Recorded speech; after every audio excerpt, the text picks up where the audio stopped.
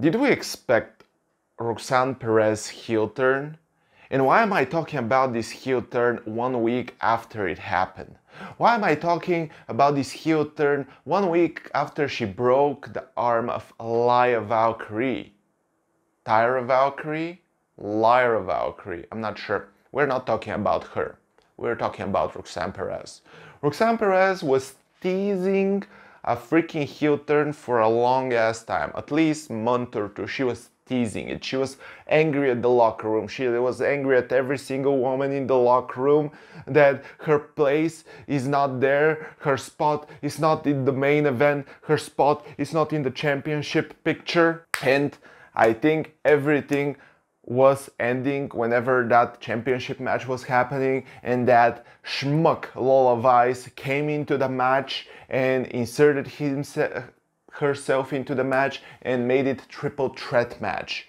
That's when everything started really turning for Perez. She even said it a few days ago that this was the turning point for her and she decided that now she's gonna take whatever she wants whenever she needed and that's it. And do you know what happened? Tatum Paxley comes out. And in wrestling, I don't know, even if you do a stupid ass mistake by hitting your partner, that means that you guys will not ever understand each other ever again. But for some reason, Tatum Paxley is still on Valkyrie's side. Guys, have you ever watched wrestling?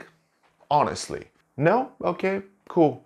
But yeah, in all seriousness, I love the heel turn of Roxanne Perez. I really liked her as a face, don't get me wrong, I really liked her as a face. She's having some sort of aura that is really likable and it's not really relatable or anything like that, but she's really likable, she's really cute and small and cool and I'm not even sure what is her skill set. If you if you ask me what is her skill set, I, I cannot tell you because I'm, I'm not sure. But uh, I like her, I like the energy, I like the character. Uh, but now as a heel turn, I feel like we're yet to see her best work. Even though she's not in the main roster, maybe she's saving her best work for the main roster, but she is gonna give it all. And I feel like this is the moment when the main roster will be like, oh my god, we need Roxanne Perez, bring her back. And also, can we guys talk about the fact that probably whenever we get Roxanne Perez versus Valkyrie at 1v1 for Stand and Deliver, probably this is gonna be the last Roxanne Perez match in NXT. Can we talk about it? And this is a little bit sad, I'm not gonna lie. But at the same time, she's gonna go to SmackDown, she's gonna go to Raw, where it's uh, packed with women that are top tier talent, and probably she's gonna get lost in the mix and I'm gonna scared about that, but we're gonna see. Really hyped for Roxanne Perez, really hyped about her heel turn, really hyped.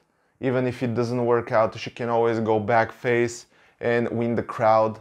And uh, I feel like this was the right direction, this is the right call, and I can't wait to see what she has in store.